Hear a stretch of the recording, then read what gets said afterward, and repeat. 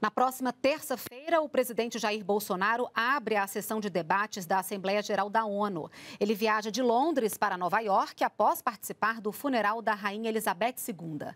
De acordo com o Itamaraty, o presidente deve mencionar no discurso a guerra na Ucrânia e a economia mundial pós-pandemia, além do papel do Brasil na garantia da segurança alimentar e na promoção do desenvolvimento sustentável. Nós vamos reduzir as nossas emissões de gases de efeito estufa em uh, até 50% até 2030, tomando como base o ano de 2005 e chegar à chamada neutralidade climática em 2050. Nós nos uh, comprometemos a reduzir o desmatamento ilegal da Amazônia e chegar ao desmatamento zero em 2030. Nós faremos menção a ao fato de o Brasil, e isso às vezes é pouco conhecido e pouco divulgado, que a nossa matriz energética é uma das mais limpas do mundo, das grandes economias, pelo menos.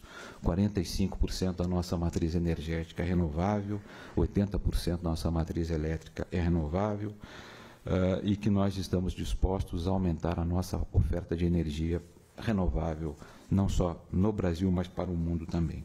Nós eh, temos dado, e, e, imagino que isso possa ser reafirmado pelo presidente Bolsonaro, a necessidade de garantirmos a segurança alimentar no mundo, eh, promovendo e intensificando ah, o uso sustentável ah, da terra e da produção agropecuária.